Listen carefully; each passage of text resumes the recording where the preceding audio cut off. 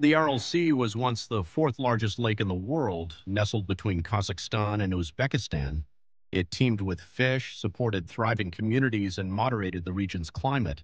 But in the 1960s, massive Soviet irrigation projects began diverting the rivers that fed it to grow cotton in the desert, dubbed white gold. Within decades, the sea began to vanish.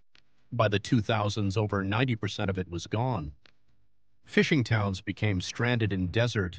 Winds blew toxic dust from the exposed seabed, laced with salt and pesticides, spreading illness and accelerating climate shifts in the region. This environmental catastrophe became one of the starkest examples of unsustainable water management. But not all hope is lost. Kazakhstan built the Kok-Aral Dam in 2005, reviving part of the North Aral Sea. Fish have returned, so have jobs.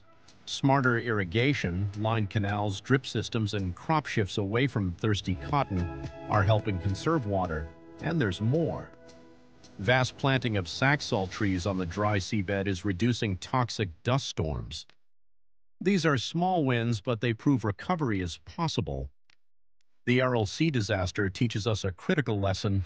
Water is not infinite. In other regions, from California to the Nile Basin, similar patterns of overuse and poor planning are unfolding.